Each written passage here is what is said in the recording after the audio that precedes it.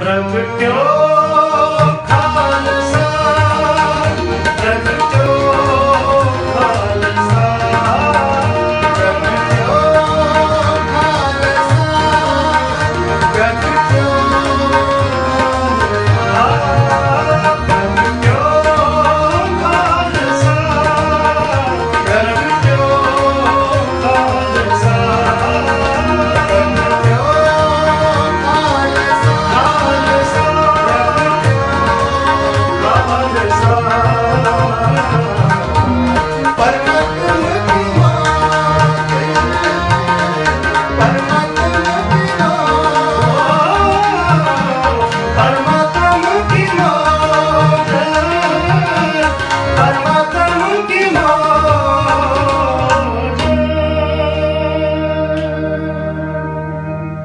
ਵਾਹਿਗੁਰੂ ਜੀ ਕਾ ਖਾਲਸਾ ਵਾਹਿਗੁਰੂ ਜੀ ਕੀ ਫਤਿਹ। ਸਮੂਹ ਗੁਰੂ ਨਾਨਕ ਨਾਮ ਲੈਵਾ ਸਤ ਸੰਗੀਆਂ ਨੂੰ ਇਹ ਜਾਣ ਕੇ ਬੜੀ ਖੁਸ਼ੀ ਹੋਏਗੀ ਕਿ ਸਿੱਖ ਨੌਜਵਾਨ ਸਭਾ ਮਲੇਸ਼ੀਆ ਅਤੇ ਸਰਬੱਤ ਸੰਗਤਾਂ ਵੱਲੋਂ ਮਿਲ ਜੁਲ ਕੇ ਖਾਲਸਾ ਸਾਧਨਾ ਦਿਵਸ, ਜੋ ਕਿ 6 ਅਪ੍ਰੈਲ ਤੋਂ ਲੈ ਕੇ 9 ਅਪ੍ਰੈਲ ਤੱਕ ਗੁਰਦੁਆਰਾ ਗੁਰੂ ਨਾਨਕ ਦਰਬਾਰ ਤਤ ਖਾਲਸਾ ਵਿਖੇ ਹੋਣ ਜਾ ਰਹੇ ਹਨ ਜੀ।